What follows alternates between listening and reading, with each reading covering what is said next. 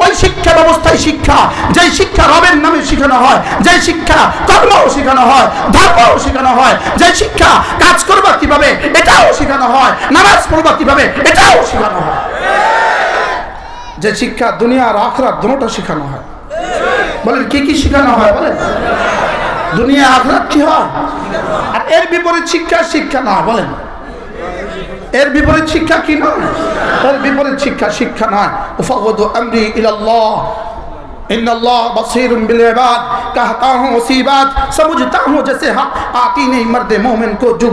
আমাদেরকে হয়তো ধরে নিয়ে বলবা, এগুলো বলেছ কেন? এগুলো বলেছ কেন? বলব, এগুলো বলেছি তার ইশারায়। কার ইশারায় বলেন? এগুলো বলেছি তার ইশারায়। এখানে বলার সময় কখনোই ভাবি না, কি বলব? নিজেকে ওফাউদ আম্বির আল্লাহ করে ছেড়ে দেই আর রক মাইক ব্যবহার করে। রক কি ব্যবহার করে বলেন? হ্যাঁ জবান আমার, বাত তার। কি? বাত উনকি জবা মেরি। मैं রাত শোনাতা হুঁ। আমি রাত সাজাই লাইট দিয়ে, রাত সাজাই লাইট দিয়ে, রাত তার লাইট আমার। আর আমার আমি বলি আমার জবান দিয়ে, জবান আমার বাত তার। কথাকার বলেন? আল্লাহ মেহরবানি করে আমাদেরকে বুঝ দিয়ে দেন। কথা তো আমার দূর চলে গেছে। জান্নাতের সমস্ত চাহিদা জান্নাতে পুরা হবে। জাহান্নামে কোনো চাহিদা পুরা হবে না। আর দুনিয়াতে? দুনিয়াতে কি হবে? এখন কিছু কিছু নিয়েই থাকবেন। আমরা কিছু কিছু, বলেন কিছু কিছু। আমরা কি বলেন? আমরা দুনিয়াতে কি? ইনশাল্লাহ জান্নাতে নিব। শুধু সব কিছু না রব বলেন মা তাশতাহি আনফুসুকুম ওয়ালাকুম ফিহা মা তাদউন শুধু সব কিছু আমি দিব, এটা নয়। তুমি দুনিয়াতে অনেক কিছু করতে পারো নাই। দুনিয়াতে অনেক কিছু চাইছো, আমি দেই নেই। আজকে যা চাইব, সব দেব। মুখে যা আসবে, তাও দিব। কলিজায় যা আসবে, তাও দিব। মুখে যা আসবে, তাও দিব। দিলে যা আসবে, তাও দিব। রব্বে করিম কেন দিবেন? এজন্য দিব। দুনিয়াতে তুমি তোমার চাহিদা আমার সব চাহিদা পুরা করেছ।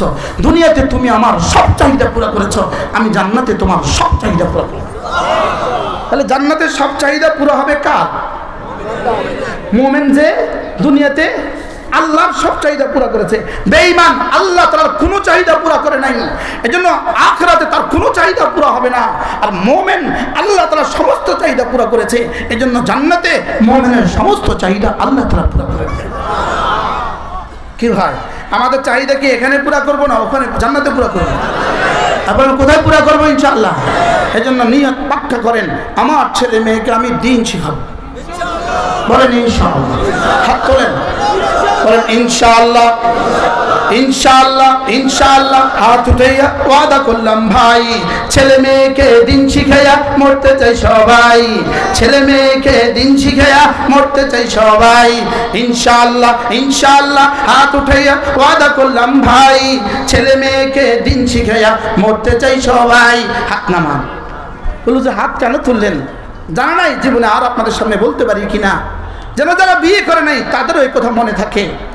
একদিন এক মাহফিলে হাত তুলছিলাম, ছেলে মেয়েকে দিন শিখাও আল্লাহর কসম, ছেলে মেয়েকে দিন শিখান, ঠকবেন না, ঠেকবেন না।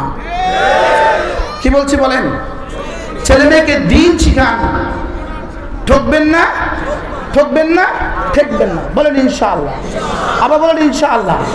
ছেলে মেয়েকে দিন শিখান, এপারে পাবেন কিছু কিছু, ওপারে পাবেন সব কিছু এপারে পাবেন কি?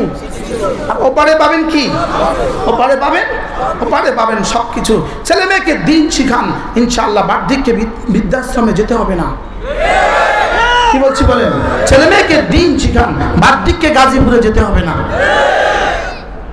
ছেলে মেয়েকে কৃষি গেলে বার্ধক্যে কোথায় যেতে হবে না? বার্ধক্যে গাজীপুরে যেতে হবে না। ছেলে মেয়েকে দিন শিখান। ছেলে মেয়ে হাসপাতালে রেখে আপনাকে পালিয়ে যাবে না। ছেলে মেয়েকে দিন শিখান। ছেলে মেয়ে লাশ বের করে পালিয়ে যাবে না। ছেলে মেয়েকে দিন শিখাবো তো ইনশাল্লাহ তো দিন শিখায় কোথায় দেশে? জোরে বলেন কোথায়? আচ্ছা ব্যাঙের নাচন শিখায় যেখানে ওই যদি ব্যাঙের নাচা শিখাবার সময়ে সুরায় ফাতাটা শিখিয়ে দিত, জাতির উপকার কেমন হতো? হ্যাঁ? যদি সিলেবাসে সুরায় ফাতাটা ঢুকানো হতো তো কেমন হতো হ্যাঁ? আচ্ছা কীভাবে শুইতে হয়? ওই মেয়েটাকে যদি এটা না শিখাইয়া ওখানে ঘুমের দোয়াটা শিখিয়ে দিতে, তো কেমন হতো তো যেটা দরকার ছিল সেটা করলে না, যেটা বেদরকারি সেটা ছাড়লে না। কি হয়? যেটা দরকার ছিল সেটা কি? করা নাই। আর যেটা দরকার নাই, সেটা করতে ভুলো নাই। এটা কার জন্য? এটা কেন? আল্লাহ মেহরবানি করে আমাদেরকে বুঝ দান করেন। সকলে বলেন আমিন। তাহলে বাংলাদেশে মাদ্রাসাগুলোর দরকার আছে না নাই? না, আবার বলেন আছে না নাই? অক্সিজেনের যত প্রয়োজন, বাংলাদেশের মাদ্রাসার এর চেয়ে বেশি প্রয়োজন। যদি খুদা না খাস্তা এই শিক্ষা ব্যবস্থায় চলতে থাকে। এই ব্যবস্থায় চলতে থাকে, দু চার দশ বছর পরে এদেশে চোর আর ডাকাত আর বাটফার ছাড়া কিছু হবে না।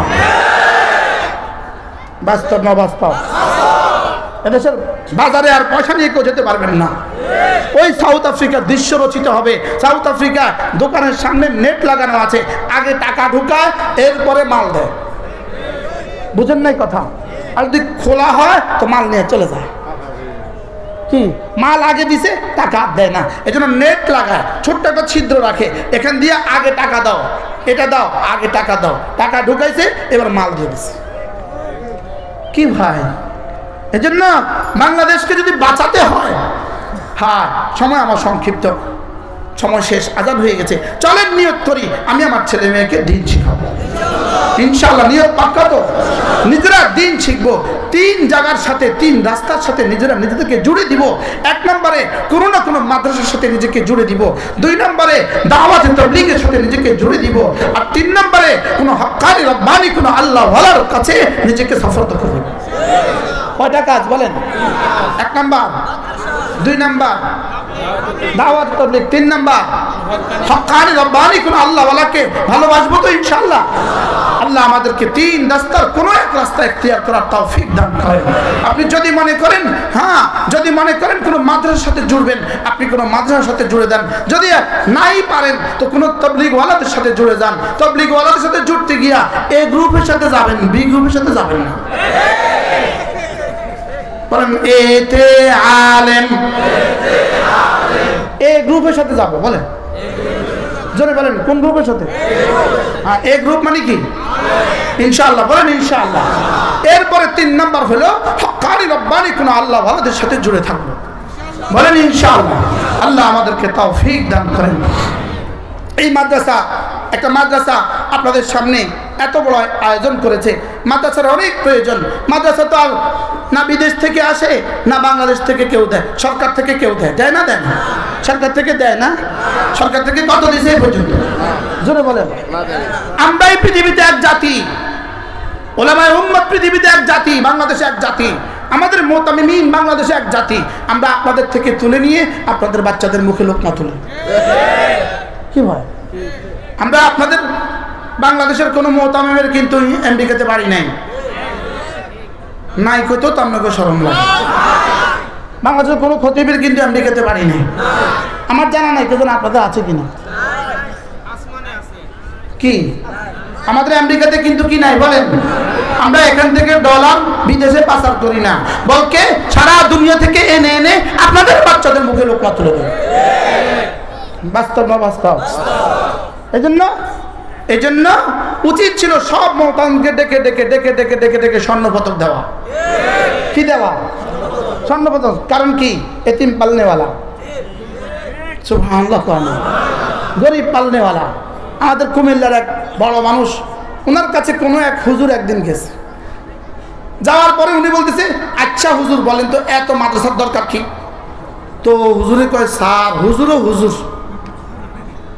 স্যার, যেমন ধরেন আপনার আজকে মৃত্যু হয়ে গেল, আপনার বাচ্চারা এতিম হয়ে গেল, আপনার বিধবা স্ত্রী কোথাও বিয়ে করে চলে গেল, বাচ্চাদের আর কোনো উপায় নাই, ওদেরকে মাদ্রাসা দিয়ে গেল, এই বাচ্চাগুলোকে মাদ্রাসারা পালে।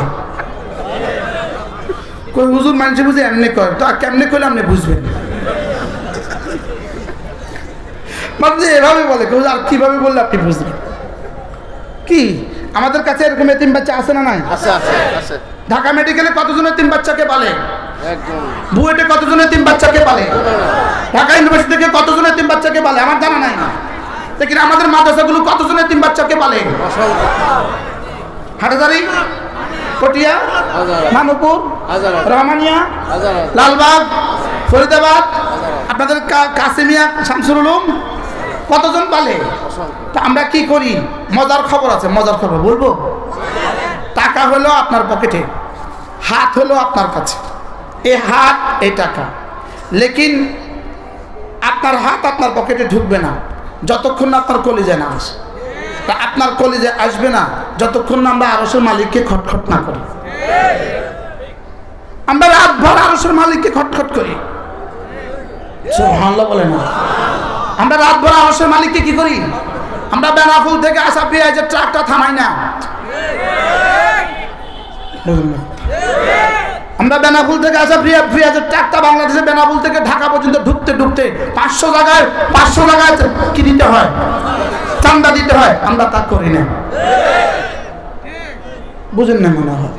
হিলি থেকে আঠা চিনির ট্রাকটা আমরা রাস্তা ধরি না। তাই আমাদের চান্দার আপনাদের চান্দার মধ্যে বেশ কম আছে। আপনাদেরকে চান্দা দিয়ে কত রূপাল্লার গজব আমাদেরকে চান্দা দিয়ে হুজুর আব্বাল্লাহকে দোয়া করবেন। তাহলে চান্দা চান্দা কি আছে বলেন?